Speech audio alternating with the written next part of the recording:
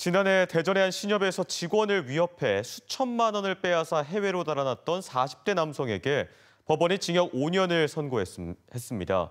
재판부는 계획적인 범행으로 죄질이 매우 나쁘다면서도 피해를 배상한 점 등을 고려했다고 설명했습니다.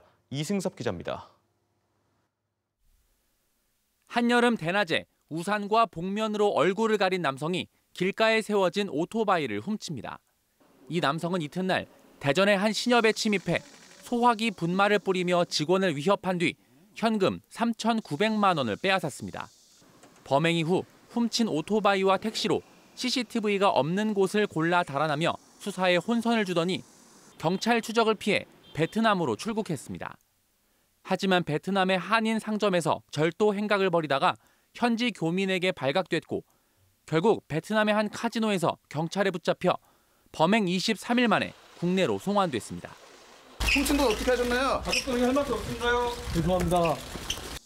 이 남성은 사업과 도박 등으로 생긴 빚 2억 원을 갚으려고 청원 경찰이 없는 금융기관을 노려 계획적으로 범행한 혐의로 재판에 넘겨졌습니다.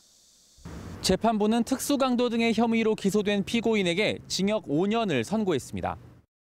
재판부는 죄질이 매우 나쁘지만 피해 금액을 모두 금융기관에 배상했고 금융기관 직원을 직접 폭행하지 않은 점 등을 양형에 고려했다고 판시했습니다. 검찰은 앞서 피고인에게 징역 12년을 내려달라고 재판부에 요청했고 판결문을 검토한 뒤 항소 여부를 결정할 것으로 알려졌습니다. MBC 뉴스 이승섭입니다.